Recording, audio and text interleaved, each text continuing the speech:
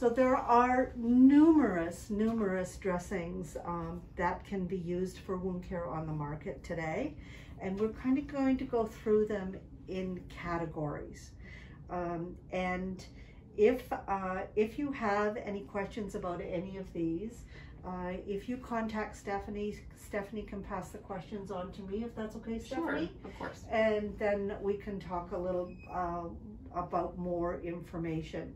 So if we move down to this end of the table, what you see here are antimicrobial dressings. Uh, and what they do is get rid of bacteria on the surface of the wound. Uh, so this product does that, as does this one and this one. These two products actually get rid of the bacteria in the dressing.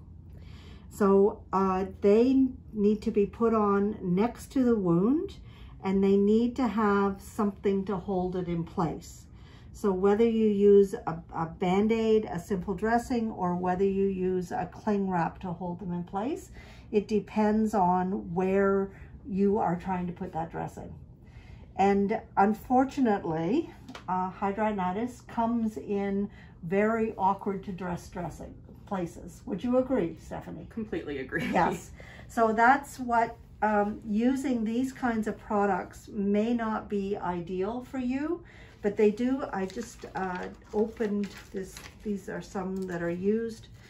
Mm -hmm. So this is a this product is a chlorhexidine product. It um, has the chlorhexidine into this uh, greasy uh, background or um, and it's put directly on the wound. It, it is sticky um, and you need to cover it with something. This is a silver product and it has, it's meant not to stick. You can see the shiny surfaces and it will deliver some silver into the wound. This is a povidone iodine product.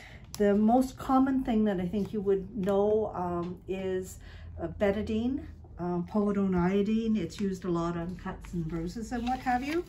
And it is in a mesh. The beauty of this dressing is that when it starts out orange and when the fluid is coming out, it uh, the fluid is coming out of the wound, it causes the iodine to be released from the dressing and the dressing will turn white so that you know that all of the dressing has been used. And then this comes, this is called polyhexamethylene biguanide.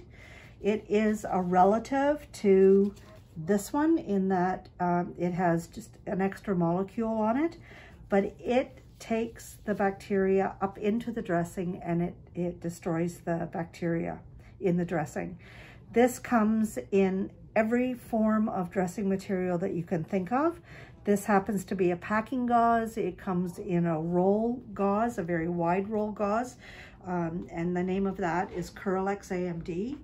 It is great. I just don't have any here, uh, but it's great for putting underneath the breast uh, or in the gluteal fold. Uh, and it will, it tends to stay in place. And then there's a product called Sorbact, um, which again takes and destroys the bacteria within the dressing. All of these, like I said, need a secondary dressing on top of it. Back as far as cost is concerned, these two are very inexpensive.